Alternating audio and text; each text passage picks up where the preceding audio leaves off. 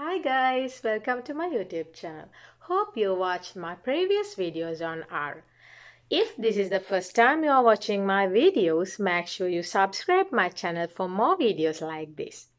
Okay, today let's work on the concept of linear and non-linear regression. So what is linear regression? It means literally we have an equation with a constant slope.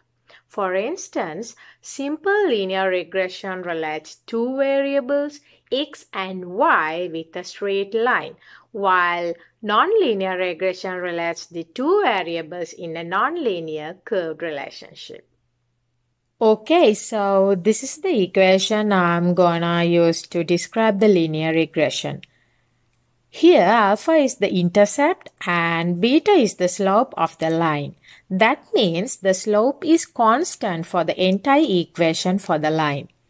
I am taking the example where we are plotting the relationship between age and weight.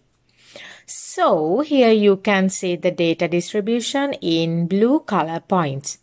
And here we notice that if we fit a line literally something like this and we have a constant intercept and then the slope is beta and we are predicting the weight based on this model. Did you notice something here? Yes, we are not actually fitting data quite well with the predicted line because there's a nonlinear relationship which looks like a curve. So what can we do in this case? Well, now we rely on the nonlinear regression. That means we are including a nonlinear variable. So for instance, in this case, a better fit of the data would look like that weight is equal to alpha, the intercept plus beta times age plus gamma times age to the power of 2. Right, so now what are we actually doing over here?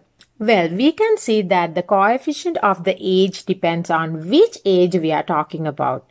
So the change in the weight relative to the change in age meaning at what age are we trying to predict the weight? So let's assume we need to check the weight of young one. Then that means for young one, the age is low and this leads to have a positive effect and let's check this on the graph. So for young age, that means in the first part of the graph, when the age increases, the weight increases. So in this range over there, when we have a positive relationship between age and weight, the slope is gradually going up. Then at the middle age, we can see that there's no change of weight with age at the middle part of the plot. And after a certain point, we can see a diminishing effect on weight with the age. Here we notice that weight decreases with age which means now that the slope is negative. That should be, well, because as now the age is quite high, people are quite old and they are already weak in health and their body is not growing like earlier. So now they are not gaining weight but losing their weight. This is a practical example and this is how we can use nonlinear model by including a quadratic term. Also keep in mind that a quadratic function has a parabolic effect.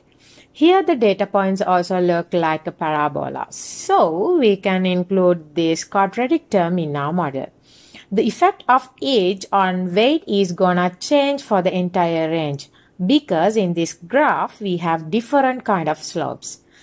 Positive, negative and flat slopes. So the effect of age on weight is gonna differ for different specific ages. I really hope you guys learned the concept of linear and nonlinear regression using a real world example. And I'll see you guys in the next episode. Don't forget to subscribe to my channel. Make sure you hit the subscribe button below and click on the bell and turn on the notifications for more videos. Thank you.